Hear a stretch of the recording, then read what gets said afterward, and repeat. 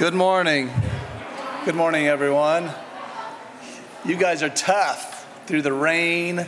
Man, that is something out there. Praise the Lord, though. We need the rain, it's good for us, but we like to whine a little bit. But we won't do that this morning. We, we love the rain, and it's nice to have new windows, so we're, got, we're going around making sure they don't leak. Not in here, but other parts of the building, making sure there's no water coming in. So this is a good test for us, right? I think it's holding up so far. But good morning. We're glad you're, you're here with us. If, if you're a, a visitor, first time visitor, we would like to send you a just a letter helping you better understand the church. Behind the back of the pews or in the chairs, you can find a visitor's card. And if you don't, there's visitor cards near the, um, the sound booth as well. And you can fill that out, drop it in the, uh, in the box right on the wall as you exit, and we would be glad to, again, give you more information about the church. But and we have a luncheon today, so if you'd like to come downstairs right after church, there's going to be a lot of food, and you're welcome to do that. A couple of announcements, not a lot of them, but Vacation Bible School, I'm going to keep plugging that, June 11th to the 15th. We still need some, some helpers, and uh, if you can help in any way, there are forms to fill out in the foyer a basket to put it in, and Tasha Herm, somebody will be getting back to you. Um, and eventually they'll tell me to quit asking because we have enough helpers. But until that happens, I'm going to keep asking because um, that's a great event. We need plenty of hands. Also, you probably didn't see it today, but the playground equipment was repainted yesterday. We had like 15 or 16 people out here painting away. Kate's always, Kate, you're in all the pictures when they're painting. She stained I'm supposed to tell you this. There are benches on that little gazebo, you call that a gazebo, whatever that wooden structure, that will be stained because it's a different color than the rest of it. Um, but that we have to wait a few weeks for it to dry. Today won't be helpful, but once it's dry, that'll be stained. And man, so, so nice out there. We're grateful for all the folks that came out and did that. Also, a new book, Going Higher with God in Prayer, A.W. Tozer. Can never do wrong there. And I'm going to read this to you. It will be back in the library like all the other new books that we continue to bring in. Uh, learning how to pray is one of the greatest challenges in a Christian's life. A.W. Tozer pointed out that the church's greatest curse is unanswered prayer, and that many people do not seem bothered by that. Maybe they don't understand what answered prayer is all about. Tozer outlines this as, as only he can describing the kind of prayer God answers and the kind of prayer that leaves him silent. Ultimately, you have to ask yourself Are my prayers today more powerful and effective than they were a year ago? Our God, uh, our good Father wants them to be. So, you want to learn more about prayer from a man who can be very helpful. You can check that out and, and look at the other books. We have uh, lots of books in there. With that, I want to, uh, this went out this week in the PPA, it's probably in your bulletin. There, are, uh, there is a new elder being proposed, Keith Carter, who has been a deacon since the founding of this church and a good friend and just a godly man. And so we are putting his name forward. The elders are. On June 4th, we'll do a, a congregational vote, which is what we do. If you have conversations you want to have with him, you have three weeks after that, he's hopefully going to be voted in. I think he will. So that's going to be that's exciting as we grow. We need uh, additional elders. The last thing is there will be uh, a brief meeting after service. So we're not going to do the last song. We're going to try to tighten up a little bit. And here I'm talking too long. Uh, we're going to um, do a meeting, but before the members, it's members only. You need to be a member of the church because it is a membership meeting. I'm going to release some folks, everybody to go, get your kids. If you're a member, come back in. 10 minutes is all we're going to have, right? It won't take a long time. Those of you that may not be members at this point, the, the, the uh, luncheon is going to be going on downstairs, so you can make your way down there, and we'll join you shortly thereafter. But I need you to pick up your kids and get back as quickly as you can so we can continue into the luncheon.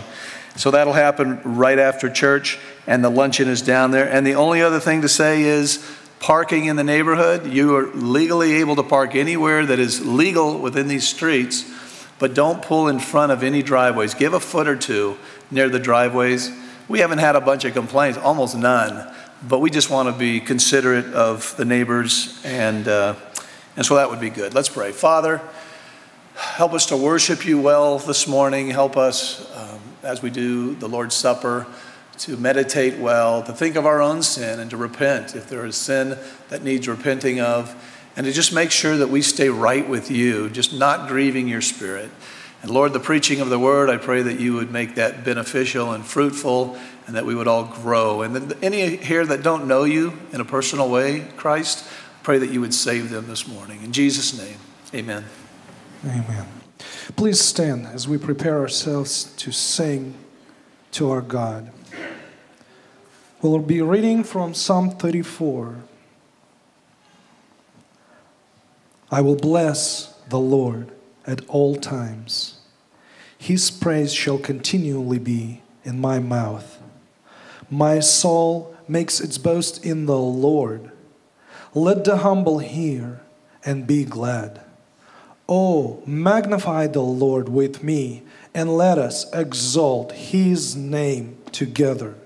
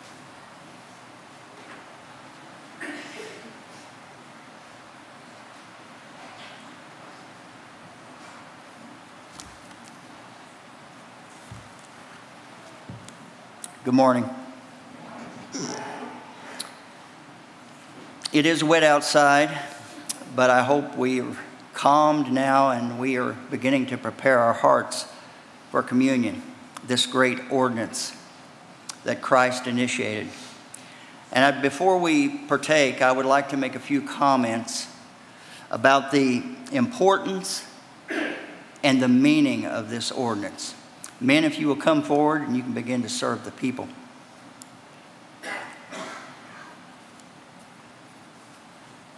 Now, this ordinance is spiritual in nature, and it's only meant for the family, the family of God. This is a family feast. So, if you have not trusted Christ as your Savior today, we ask that you not partake, because the natural man can have no communion with Christ. only those that are His. John Calvin said, he calls the crucifixion of Christ the hinge which, on which salvation turns. Martin Luther said, he calls it a gospel spring opened to refresh sinners. And I would agree.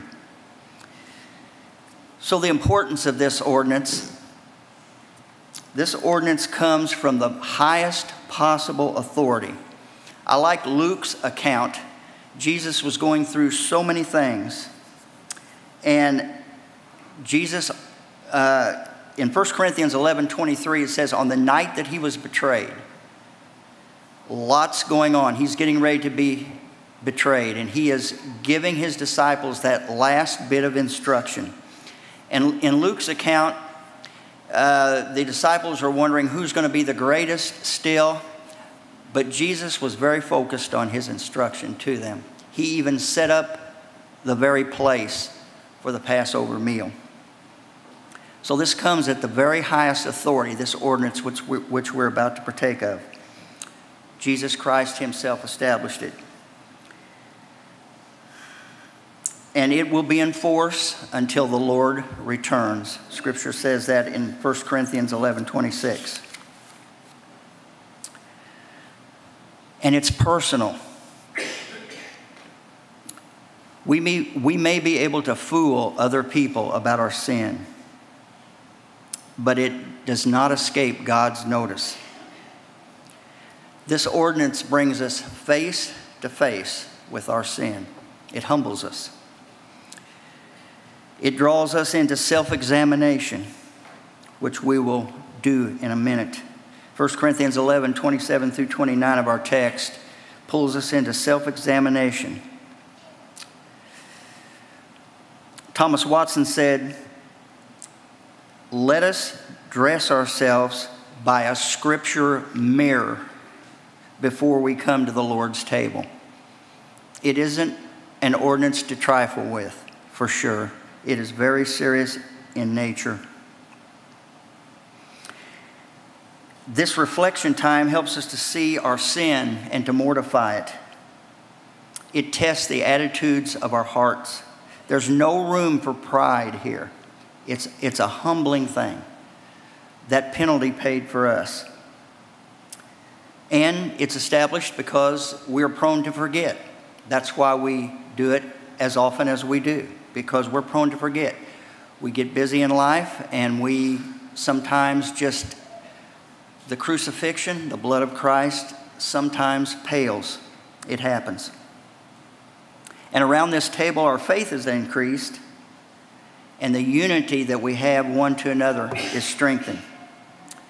Now, the meaning Christ shed blood for sinners provides us with so many benefits. Thomas Watson again says, It is one thing for a traitor to be pardoned, and another thing to be brought into favor. Sin cuts us off from God's Christ, blood cements us to God. And we see God's great love for us. Even in John 3:16, for God so loved the world that he gave his only begotten son. That says it all. So I was thinking about this and I wrote this down. I said, Suppose you were brought before a great king. You were guilty of crimes. You were the lowly of lowliest. And your crimes were punishable by death. The king was to pronounce your sentence. To your amazement, the king says, in my mercy, I have given my own son to take the punishment for you. He has died in your place. You are pardoned. He could have said, You're pardoned, now you can go. But no. Because of my son's sacrifice, the great king, he says, I have adopted you as a son and an heir in my household. You will receive inheritance in my household. That's what we have in Christ. So, what should be our response? I always go through my grandmother's old hymnal and I'm looking for just the right words of a hymn. This should be our response. Blessed assurance, Fanny Crosby, 1873. Blessed assurance, Jesus is mine. Oh, what a foretaste of glory divine. Heir of salvation, purchase of God, born of his spirit, washed in his blood. This is my story, this is my song, praising my Savior all the day long. So, with that, let's take a few moments to examine our hearts, and then we will partake the elements together.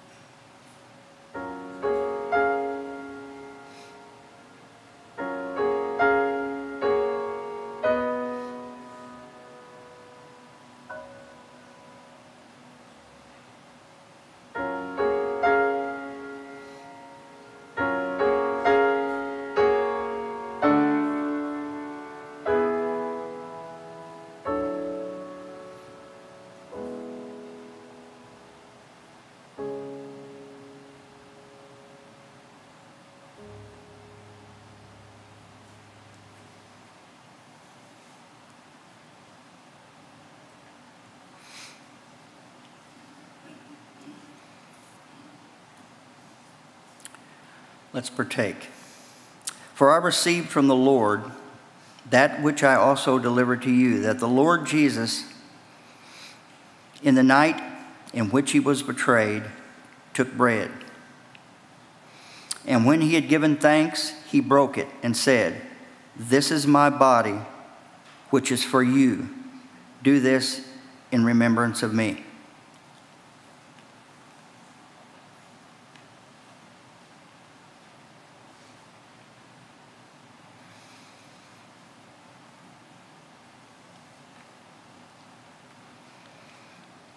The same way, he took the cup also after supper, saying, This cup is the new covenant in my blood.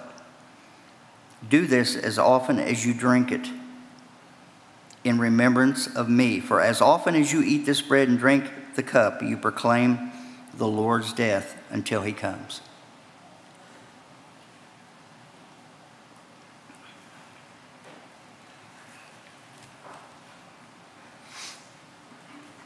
Let's pray.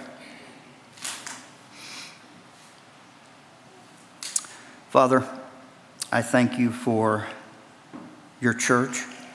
I thank you for this church. I thank you for these precious people. Lord, I pray that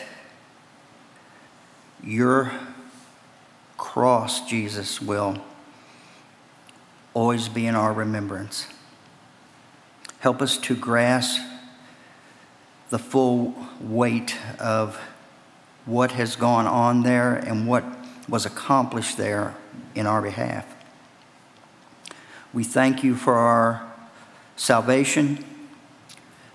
We thank you that we are heirs of yours. We have a great inheritance and we have great hope.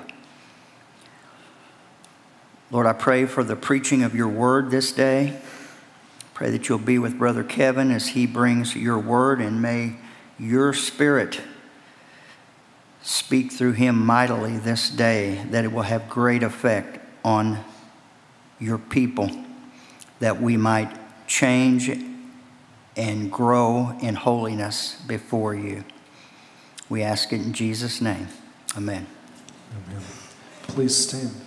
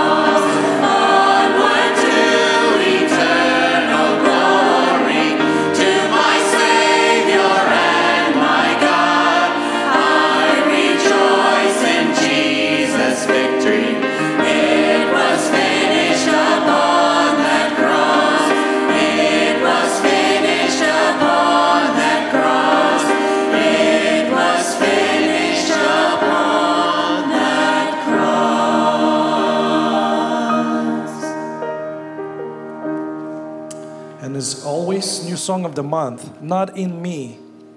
Very great song. Let's sing those truths and take it close to heart.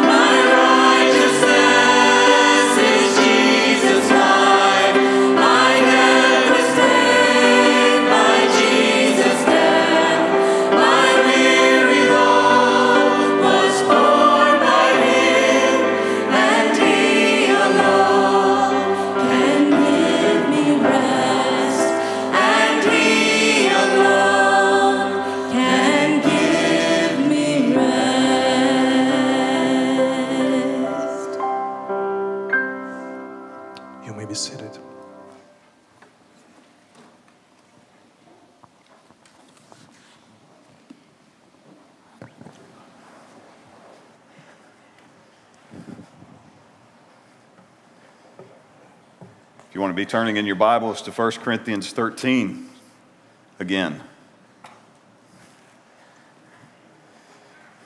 I just want to say if the hope was to condense the service, they picked the wrong guy. that is not one of my spiritual gifts. Um, so I'm going to be speaking fluctuating between one and a quarter and one and a half speed, so you're going to have to listen fast. let, me, um, let me read our text. It'll be 1 Corinthians 13, verses 4 through 8, and then I'll pray. Love is patient and kind. Love does not envy or boast. It is not arrogant or rude. It does not insist on its own way. It is not irritable or resentful.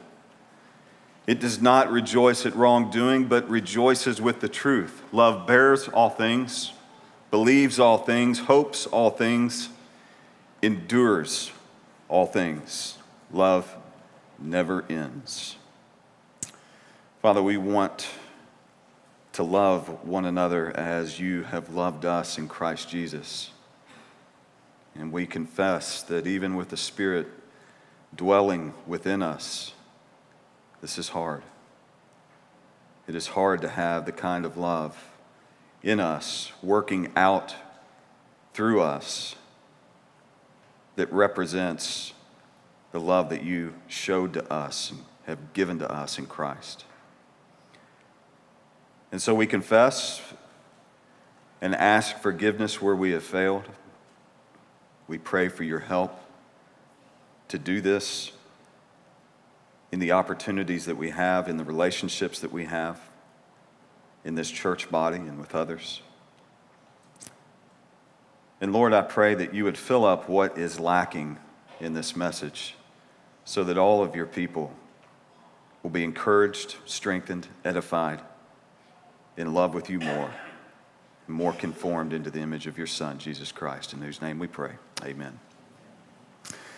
So, if the essential mark of the Christian is Christian love, then it would serve us well to know what this love looks like.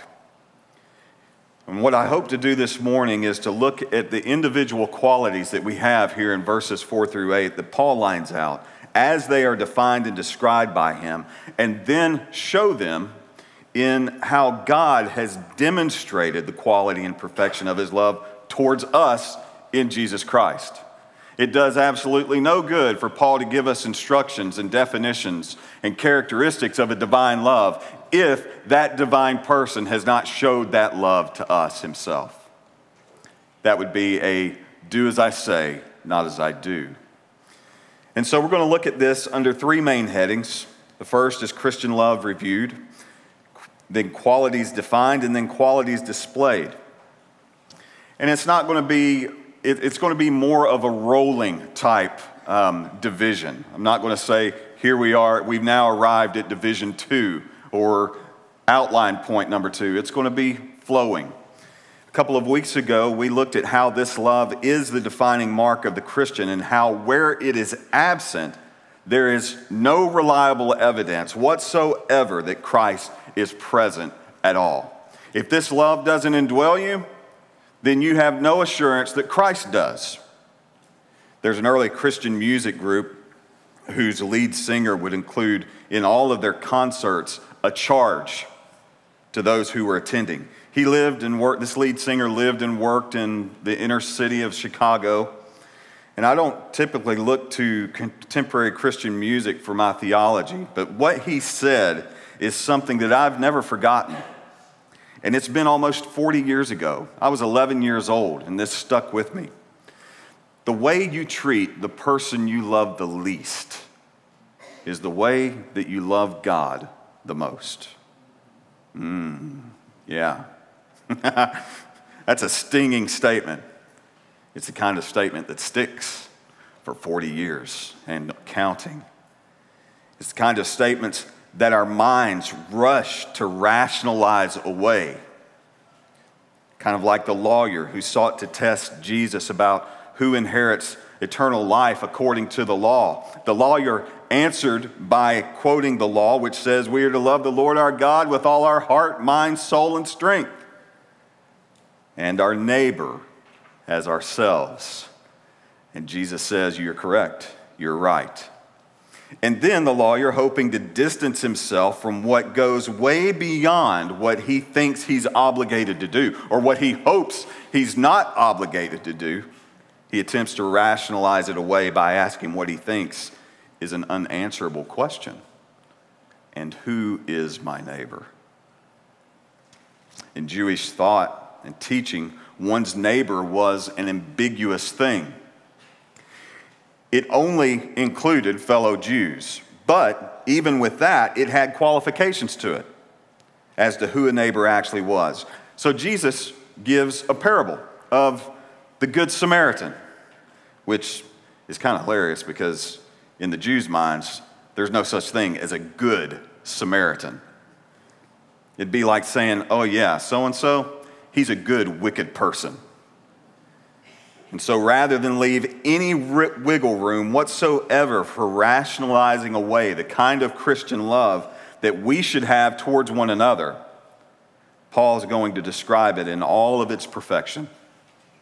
As we get into these qualities, it's going to become quite clear, quite quickly, that we fall quite far short of these perfections.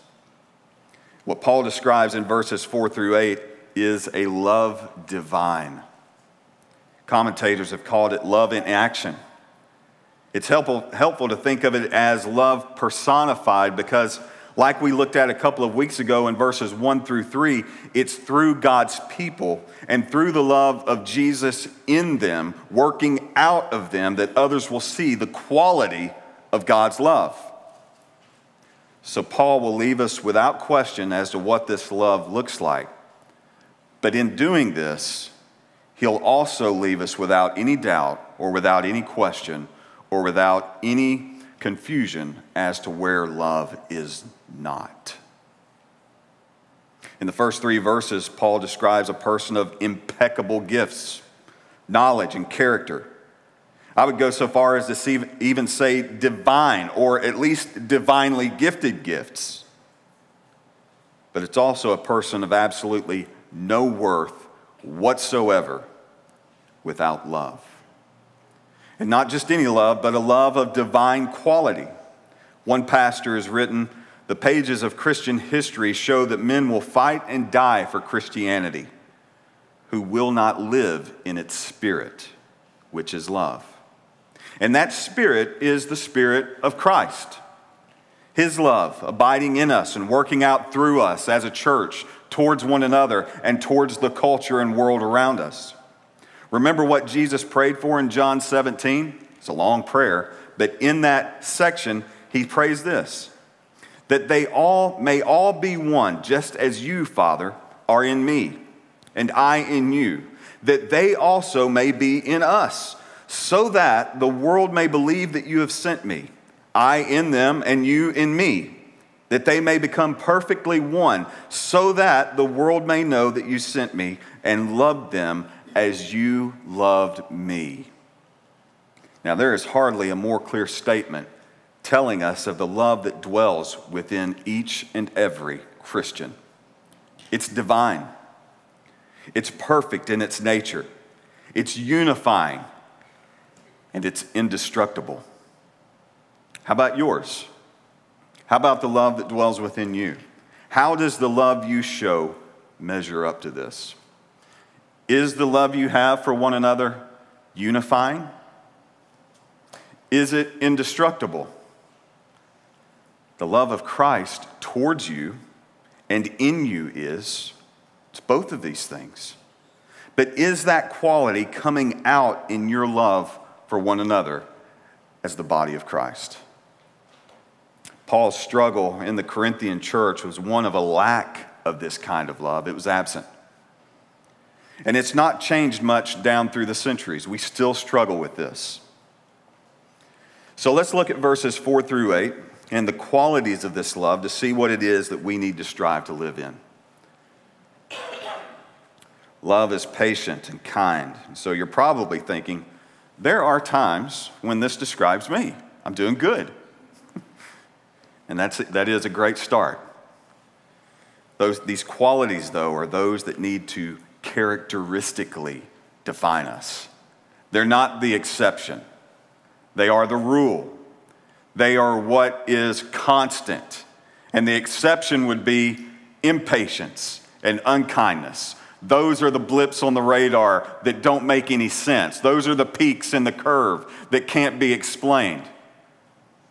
Paul's describing a quality that is characteristically mild and long suffering able to endure with forbearance any injury, any criticism, any offense, and any unkindness from others.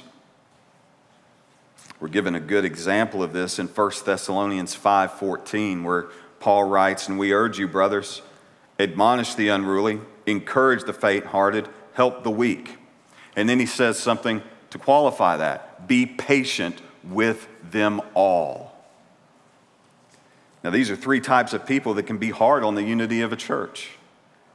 The unruly are those who Paul sees as putting their own opinions or their own preferences, their own pet beliefs, or themselves as that which is the most important thing.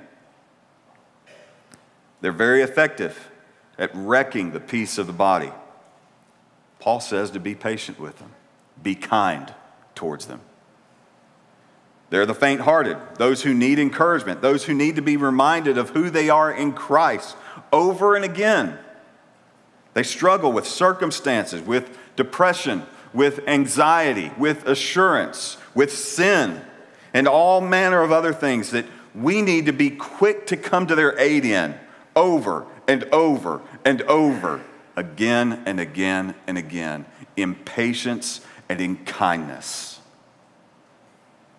And then there are those who lapse under temptation into sin, or false thinking, or doctrinal error. We are to be kind and patient, ready to restore, ready to correct, faithful to them in all things. It has the sense of being benign. The best word that you can hear about a potentially dead, deadly cancer that's been found in your body is that it's harmless, it's benign. And each one of us has the potential to be a very destructive force in the life of a church. James writes that the greatest of forests can be destroyed by a small fire. And then he says that our tongues are a fire. At any given moment, a lack of love from an impatient and unkind tongue can cause immense and massive destruction. So, doesn't benign need to be the word that describes us? Harmless? One commentator writes that Chrysostom said, This is the word used of the man who is wronged and who easily has the power to avenge himself, but will not do it out of mercy and out of patience. Does this not describe Jesus? He is by no means harmless. He has at his disposal 12 legions of angels. But he comes to those who are seeking forgiveness from the King, the King of Kings, the one who they've offended. He comes to them as a benign Savior, a friend, a Redeemer, not counting our sins against us, because in His great love, He took them upon Himself and died to pay the price for them. This is patience. This is kindness. So, how are you measuring up so far? Stacking the love you have for one another against this love so far. And it's just two qualities. how are you measuring up? We've got a ways to go yet. Paul moves from what this love is, patient and kind, to what it is not. It is not jealous. I think we're best served by thinking about the jealousy God has for his own glory rather than the jealousy found in the relationship of two people. Although this passage is most often used in the context of marriage, Paul is addressing the corporate life of the church. He's not addressing marriage here. He's, he's addressing the relationships that we have with one another in this body that we live in. This jealousy is one that seeks its own glory in these relationships and doesn't like it when someone else has the place that it believes it deserves. Charles Hodge says that it's meant to convey the tendency to have wrong feelings, particularly jealousy and envy, aroused in view of the good of others. When someone else advances, when someone else has prominence, when someone else gets what you think you deserve, there's jealousy that crops up and not joy. If you have a study Bible, a note on this might say that this jealousy has the desire to advance at the disadvantage of others. Excuse me while I climb over you to get where I think I need to be. When someone falls or missteps, you're happy that you've just advanced up one rung higher. This jealousy resents the blessing and the giftedness, the success or notoriety of others. The very opposite of this is seen in Philippians, where Paul is in jail. He writes about those preaching Christ out of envy and rivalry and selfish ambition, hoping that their own prominence will now advance because Paul is imprisoned. And how does he reply to this? He says this only that in every way, whether in pretense or in truth, whatever their motives are, whether they're selfish or selfless, I don't care. What I care about and what I glory in is that Christ Jesus is proclaimed. In that I rejoice. In other words, I'm not jealous of anyone who is effectually preaching and proclaiming Christ, who is actually living these things out. Why would I be jealous of that? More power to them. Put me in a thousand prisons if that's what's going to advance the gospel. That's Paul's attitude. No hint at all of jealousy. And in a similar way of not being jealous, love does not brag and is not arrogant. One translation reads that love doesn't cherish inflated ideas of its own importance or its own worth. It neither admires itself nor tells others all the reasons it deserves to be admired. For those of you who have kids, there is a book out, and I can't remember the author, author of it. It's called Fool Moon Rising. Instead of F U L L, it's F O O L. It's a children's book. It is very good. I, I still read it. It's about my speed these days. so it neither admires itself nor tells others all the reasons that it deserves to be admired. Proverbs 27 2 says to let another praise you, let someone else praise you, and not your own mouth, a stranger, and not your own lips. Elsewhere, Scripture talks about a person's gifting making a clear path for that person. The person doesn't need to beat his own drum when it's Christ who gives gifts to his church and makes it abundantly clear to everyone when he does so bragging and arrogance gets in the way of that and often ruins beyond repair that which would have been considered worthy and welcomed and esteemed. That's what arrogance and bragging does. Love does not make a parade out of itself. It doesn't crave attention, and it's very well content and joyful in the progress of others. It's content on the sidelines because that is where God has placed that person and recognizes that. Love does not act unbecomingly. Simply put, it doesn't act rude or crude. It's not offensive. It's respectful and decent in language and in action. If you have to say, pardon my language, either before you say something or after you've said it, then having a genuine love for the other pro- person probably would have prevented you from saying what you did altogether. You always know that something unkind and unloving is coming when you hear someone say, I'm sorry, but I have to be honest. Rarely does anything good, edifying, loving, patient, or kind come after a prefatory statement like that. I love so and so, but I hear that a lot at work. I love that guy, but may as well finish that statement by admitting that you don't love that person. Because what you're about to say is going to prove that you don't.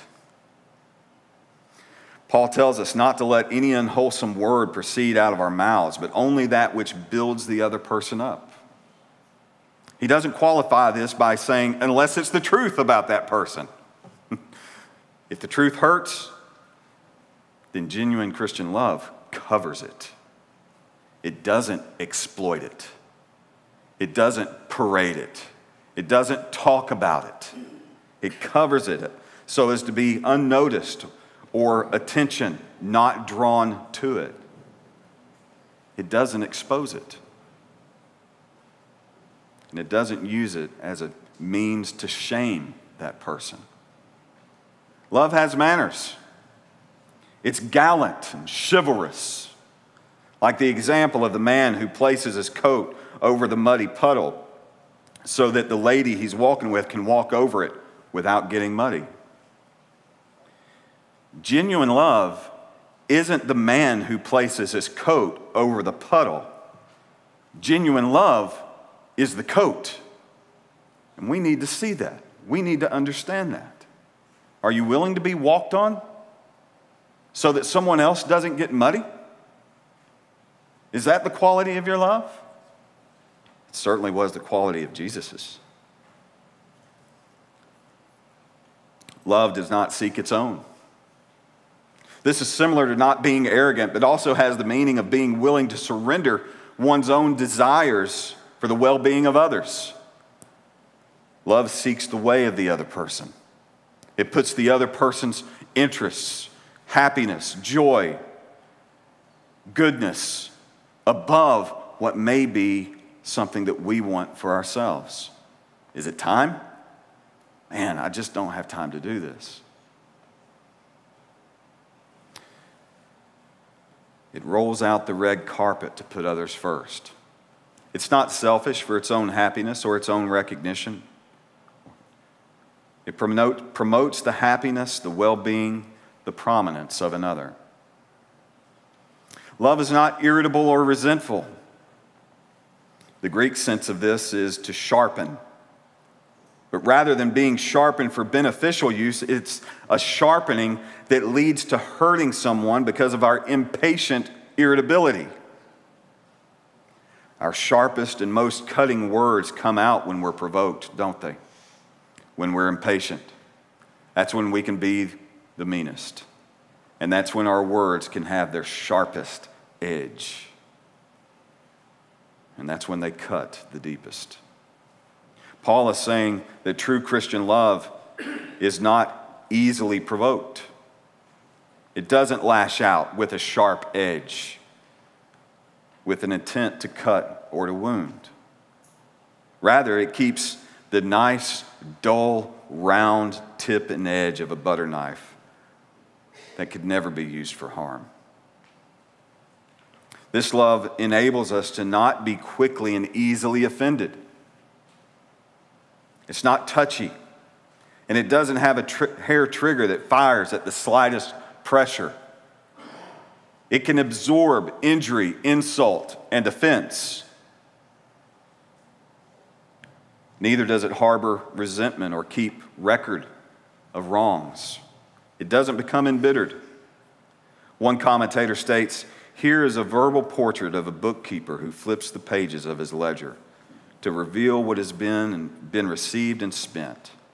He is able to give an exact account and provide an itemized list of wrongs at any point. Back here last week, do you remember what you said to me? Do you remember what you did to me? You did it also back three weeks. Anyway. What if Christ kept a record of wrong? Even as Christians, what if Christ kept a record of our wrongs? Did you read your Bible this week? How many, time, how many hours did you spend watching TV and how many minutes did you spend praying? How was your attitude towards that person who offended you? What if Christ kept a record of wrongs? What if he was irritable and resentful? What if he flew off the handle? What if his anger and unforgiveness had a hair trigger? What if he had biting and cutting words for those who treated him the way we treat others? Aren't you glad he's not any of these things? Love does not rejoice in unrighteousness or evil, but rejoices with the truth. Now, a lot of commentators will comment on the evil in a culture and how we should rejoice when truth prevails. It's almost like Paul has zoomed in on the relational side of the church or relational aspects of the church, and now he's zoomed out to the culture at large. And while there's certainly application to be made, I think that Paul is still dealing with the personal relationships within the body here. Truth is and always has been maligned and hated in the culture. As it is in our day, so it was in this one.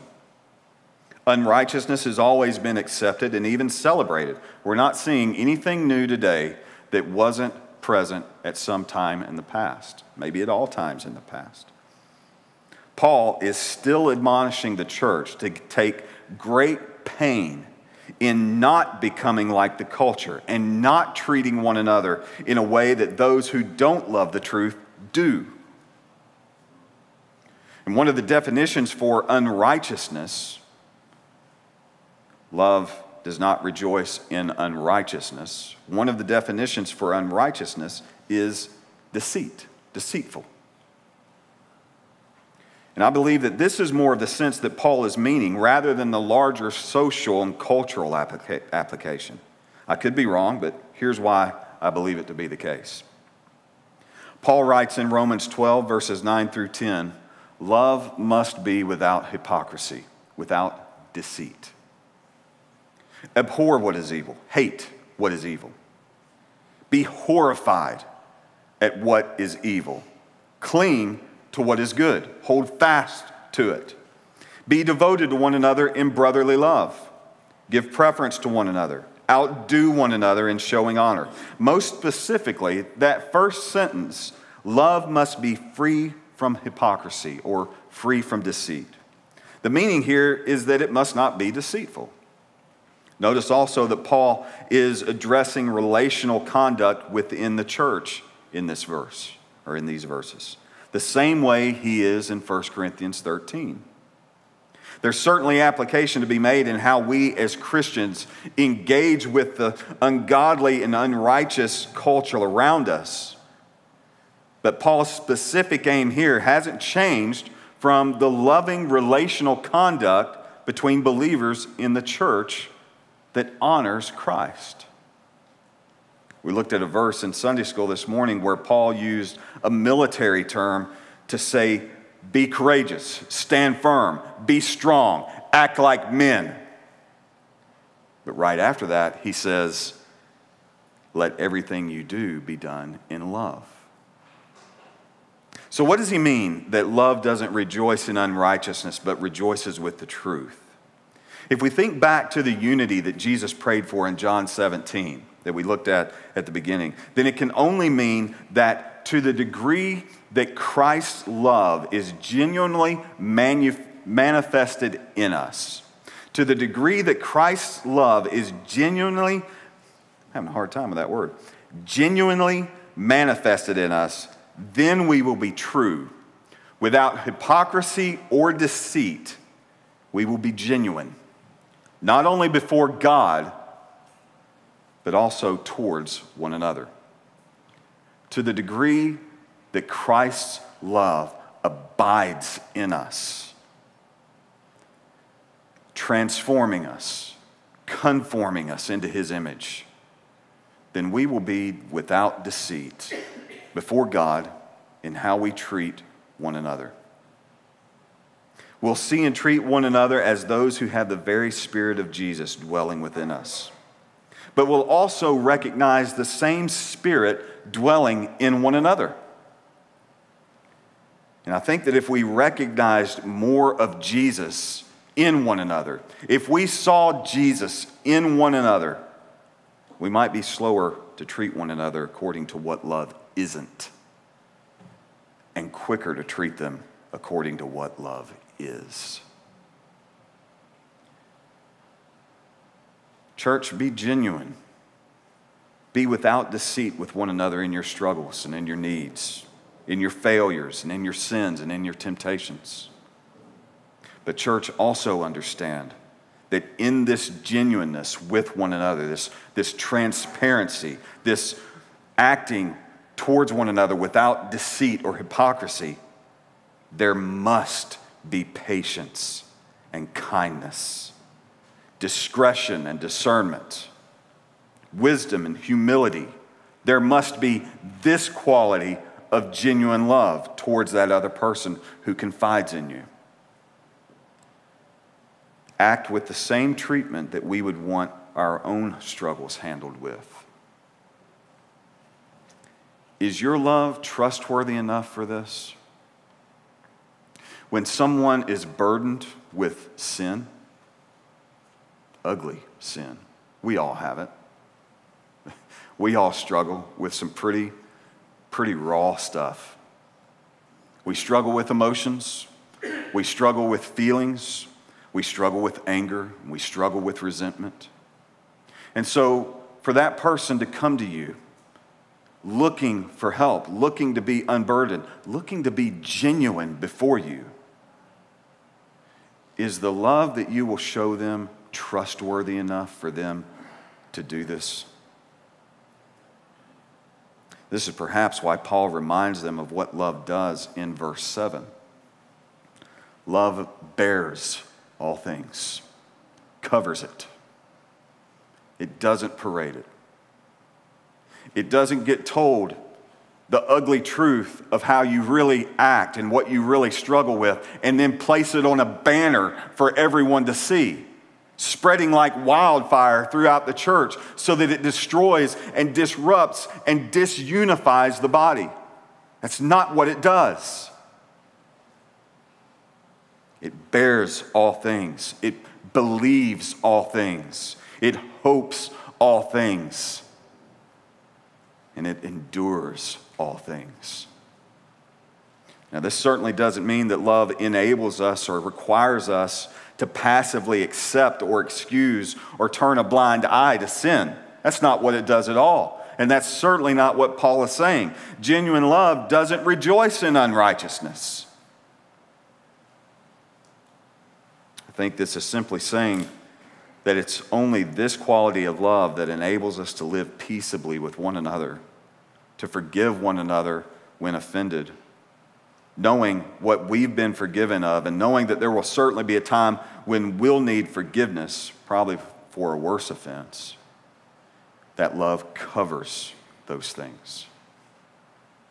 This love sees beyond the offense to the Savior who abides within the offender. Yes, you have offended me.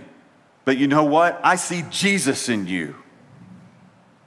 And I know that I know that I know that Jesus is using this particular thing to grow us both in being conformed into his image, being sanctified, being perfected, so that our love might have even a greater quality to it than what it had before.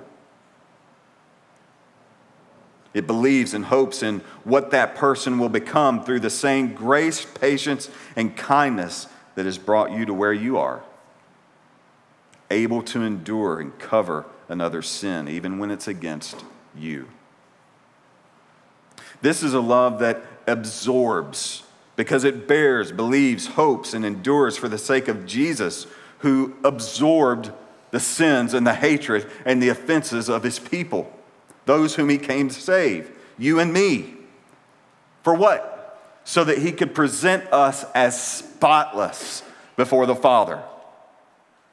So that he could present us as spotless before the Father. Do you see yourself as spotless? Man, I don't see me as spotless, not in any measure. I fail consistently. But in Christ Jesus, before God the Father, before God the Father, I am as white as snow. I have no stain whatsoever. I am presented spotless before God, a holy God who hates sin. Do you realize the power of that love. I am a sinner through and through.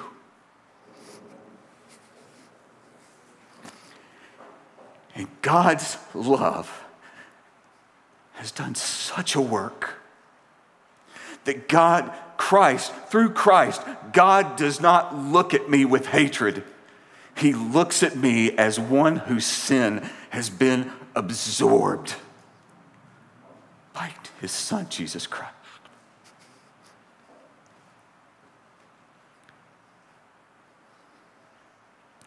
So now, how are you measuring up? How do we do this? How do we show this kind of love, the kind of love that absorbs the offenses of another, so as to present, so as to work hard to present that other person who has just offended you as spotless before the rest of the people in our church? How do we do that? How can we possibly have this kind of love? In and of ourselves, we can't. We cannot do it. We'll be defined by those things that Paul said love is not. Every single time. But listen to what he writes in Philippians 2, chapter, chapter 2, verses 1 through 5. He writes this So, if there is any encouragement in Christ, any comfort from love, any participation in the Spirit, any affection and, and sympathy, if there are any of these things, complete my joy by being of the same mind, having the same love, being in full accord and of one mind. Do nothing from selfish ambition or conceit but in humility count others more significant than yourselves. Let each of you look not only to his own interest, but also to the interests of others. Does this sound familiar? It should. It's the same as the verses we've been looking at, only stated a little bit different. He goes on in verse 5 to say, Have this mind among yourselves so, this quality of love, this, this love that helps us do nothing from selfish ambition or conceit, but in humility count others more significant than yourselves, we are to have this mind about us. This is an imperative, it's a command, it's not an option. We are to behave in this way. We are to have this quality of love about us. So, in Paul's mind, it's not an impossibility to do. It's very much possible to do. How does he tell us that we can do this? In Christ. Only in Christ. Christ has displayed this perfectly. But if that's all he did, if all he did was display it, then we'd be hopeless to follow. But he does more than this. Christ does more than this. Remember John 17. The glory that you have given me, I have given to them, that they may be one even as we are one. That they, that you, all of us, may be one even as the Father and the Son are one. I in them and you in me, that they may become perfectly one, so that the world may know that you sent me and loved them even as you have loved me. The love between the Father and the Son is also ours through Jesus Christ. And so Paul continues in verse 5. After giving us the command to have this mind among ourselves, he says this This mind, this attitude, this quality of love is yours in Christ Jesus. It's not something that you don't possess. It's not something that you can't attain to. It's not something that can define the quality of your love. This isn't something, yes, that's good for Jesus. He was an extraordinary man. He was the second person of the Godhead. He can do that. I struggle. I can't do that. Yes, you can. You have the mind of Christ Jesus. We possess this love. It's not unreachable, it's not unattainable. It is ours in Him. And we know this to be true because of what this love enabled Christ to do. As you continue on in verses 6 through 8, who, though he was in the form, in the form of God, did not count equality with God a thing to be grasped. He was humble. This was the second person of the Godhead, not clinging to all that he is as the second person in the Godhead, not grasping it as his right and his entitlement, but emptied himself by taking the form of a servant, being born in the likeness of men. being found in a human form, he humbled himself.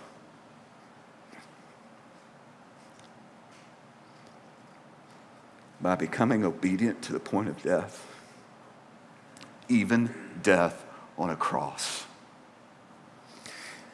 That is perfect love. And it's in Jesus that we see a love displayed that is patient and kind, that isn't envious, that isn't arrogant, that isn't unbecoming or insistent upon its own way, that isn't irritable or resentful, and that completely embodies righteousness and truth. There are people all around us who are looking to be loved with this kind of genuine love. And it is only only in a church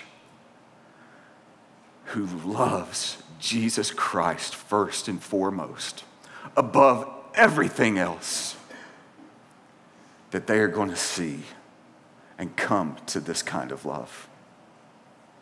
If an unbelieving world, an unloving world, is going to see Jesus, it is going to be through Jesus working out this love through you and me. Perhaps you're struggling with how you aren't measuring up or how you haven't measured up. Perhaps you're feeling a weight of guilt in how you've acted towards people in the past. Perhaps you're thinking, man, I've really messed this up. Don't forget, do not forget the perfect, kind, patient, unresentful love that Jesus loves you with. And then look to Him. Look to Christ and the mind that you have through Him so that you can go and love others in the same way. Let's pray. Oh, Lord Jesus, thank you for your grace towards us. Thank you for your kindness, your patience, your long suffering, your forbearance. Thank you that you didn't put yourself first so that you could come willful, willingly and joyfully to save us from our sins. We thank you so much for the grace that's been given us. We thank you for the forgiveness that we have in Him when we act in such an unloving way.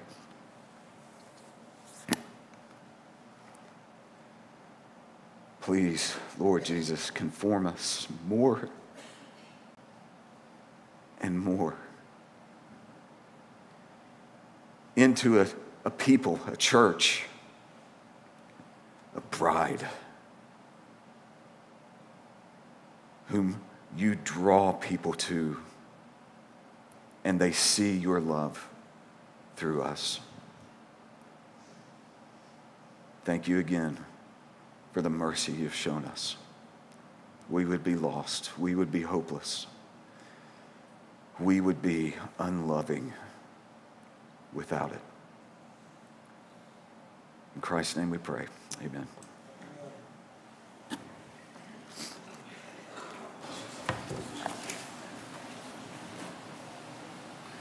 Real quick announcement. So we have a luncheon. Thank you, Kevin. Excellent message. Uh, we have a luncheon downstairs as normal on the day we have the Lord's Supper. And so you'll be able to go do that.